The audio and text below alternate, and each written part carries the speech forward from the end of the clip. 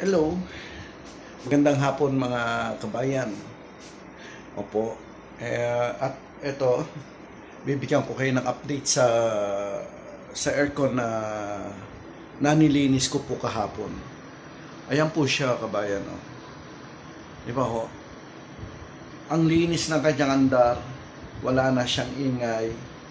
At hindi siya yung tulad ng dati na na na nung hindi ko pa siya nilinis, ang ingay. Ang ingay tapos yung pong wala siyang binubugang lamig. Kumbaga parang nakapan lang ho siya. Kaya ganyan ang advantage ng ang aircon kapag nalinis. Ngayon ang bugan niya ang lamig na ho at wala talagang noise na maririnig. Na normal lang po ang kanyang ang kanyang andar.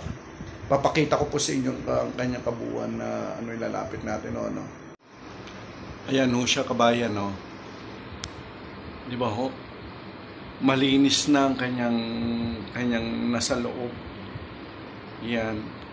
Ang kina kinaganda po talaga dapat po talagang aircon eh nalilinisan at wag ho pabayaan kasi po kapag pabayaan yan malaki po ang magiging perwisyo sa atin at higit sa lahat syempre ho lalaki ang damage sa sira kasi kumbaga kapag ang kumbaga ang aircon kung napapabayaan nahihirapan din po yan syempre Madyan pwedeng bibigay din ang kanyang bossing. Bossing yung parang ano po sa bearing sa gitna.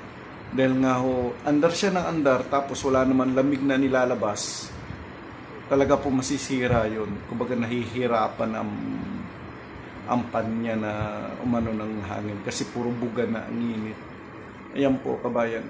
At yung po pala ang pinakaalulod niya dyan sa loob sa loob po niyan, eh mayroon siyang ano, mayroon siyang pinakakanal. Kahapon nung nilinis ko, ang daming tubig, grabe. Ang daming tubig kabayan. Halos uh, basahan ang ginamit kong panglinis, ang pinangsipsip ko kasi hindi ko siya mabaklas. Ayun po, ayun, uh, ang daming tubig na tinanggal ko.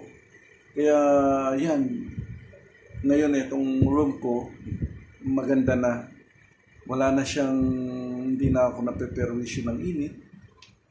Okay na siya kabayan, nilinis yung filter, nilinis yung singit-singit niyan, at chinek ko na rin yung mga line ng wire kung may mga sunog, at kung condition pa yung kanyang kanyang fuse, okay naman.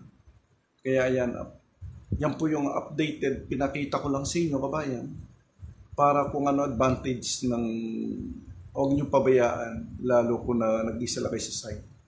Ang inyong mga aircon eh, dapat lagi nakakondisyon. Opo. Ayan na kabayan. Hanggang dito na lamang kabayan. At maraming maraming salamat po sa inyo sa mga suporta. Thank you. Mabuhay ang lahat ng Pilipino saan man panig na mundo. Lalo ang mga OFW.